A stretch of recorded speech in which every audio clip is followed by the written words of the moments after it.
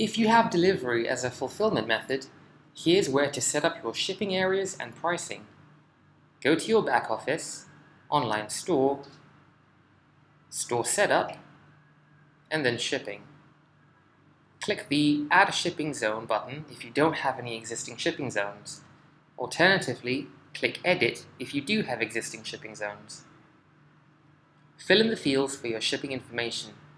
Choose your states, then the postcode or city that you can ship to, as well as the price.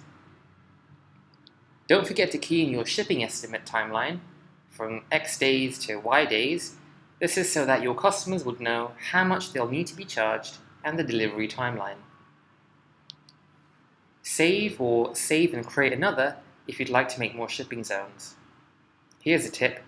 If you select free shipping, you can leave the rate amount field empty.